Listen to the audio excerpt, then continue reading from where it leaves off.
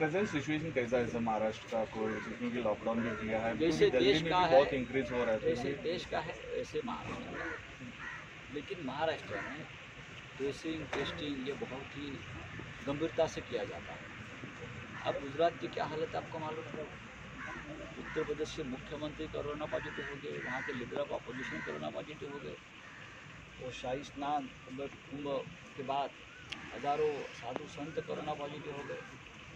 नियंत्रण नहीं रहा कंट्रोल नहीं रहा तो देश में जो महामारी जो फैल रही है बहुत बड़ा संकट को हमको सामना करना पड़ रहा है।